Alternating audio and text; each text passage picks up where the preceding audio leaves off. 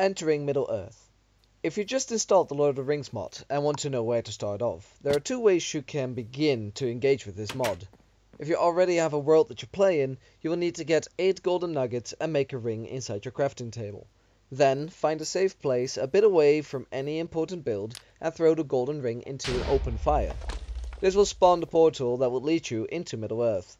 If you don't have a world yet, or want to start a new one, you can either create a new world that begins in the overworld and follow the steps I already mentioned, or you can go to more world options and change world type to Middle-earth.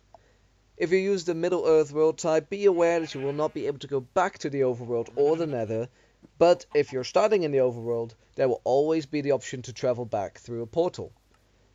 ME Classic, or Middle-earth Classic, is a world generation like the Overworld, but then with all the Lord of the Rings mod biomes scrambled about, instead of in their rightful place. Thanks for watching, and merry travellings.